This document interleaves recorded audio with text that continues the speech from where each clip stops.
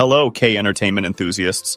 Welcome back to I Got News, where the latest buzz in Korean entertainment comes to life. If you're passionate about the beats of K pop, the twists and turns of K dramas, and everything in between, you're in the right place.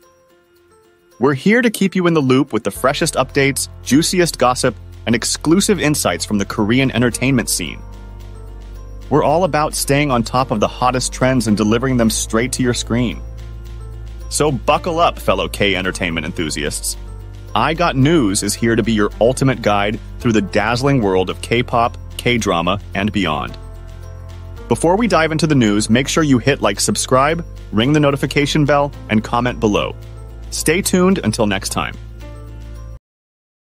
Today, we're talking about JESSI's electrifying performance at Waterbomb 2024 that has everyone buzzing. Let's dive right in. On July 7th, JESSI posted photos and videos on her personal social media, showcasing her unforgettable performance at Waterbomb 2024. Dressed in a string bikini that highlighted her chest line, paired with jeans, JESSI didn't hold back. She wowed the audience with bold gestures, including touching her chest, twerking, and making provocative movements. Fans were absolutely thrilled. Both domestic and international supporters flooded her comment section with fire emojis, showing their excitement and support for her daring performance. And who can blame them? JESSI has always been known for her fierce and unapologetic style. She continues to make waves with her hit songs like Nunu Nana, What Type of X and Zoom. JESSI's performance at Waterbomb 2024 is just another example of her pushing boundaries and staying true to herself,